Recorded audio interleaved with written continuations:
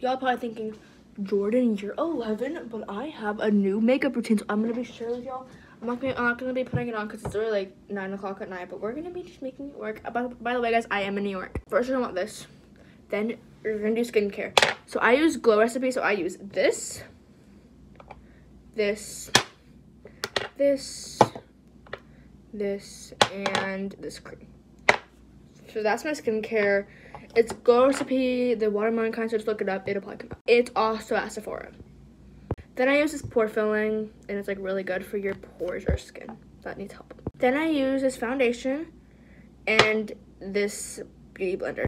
Then I use this concealer with the same beauty blender. Then I either wear, the, wear then I either wear this lip gloss, this lip gloss, or one of these EOS's. Then I put on either clear or regular mascara. Then I put on this contour and highlighter stick. Then I put on this blush and contour like little mix it. I use the blend blush. My skin glow. Compact.